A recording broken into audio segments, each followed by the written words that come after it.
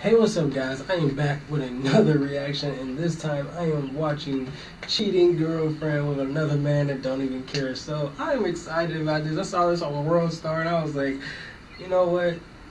I wish a, a, a, a bitch would, you know what I'm saying? But let's jump in.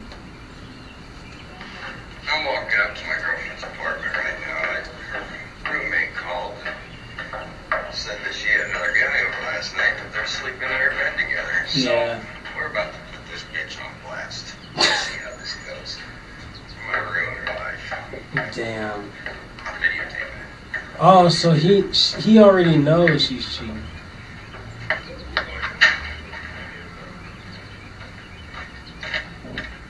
Oh look, another guy sleeping in my girlfriend's bed. You're a slut. You are a slut. And I have it on video. I'm gonna ruin your fucking life. he said, "I'm gonna ruin your fucking life." Ah. How do you feel about that? She don't even care. She just like, I got some good dick. I work I my don't care. fucking ass off day in and day out. Fucking 100 plus hours a week. I do nothing but be faithful to you.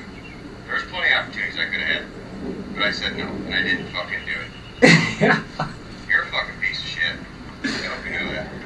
So I you. it's a white dude, Go to hell. and she's been cheating on her white boyfriend with a black dude.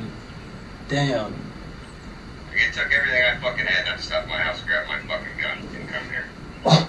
You know don't understand. stand. I'm gonna fucking kill somebody. Bruh, don't kill nobody now.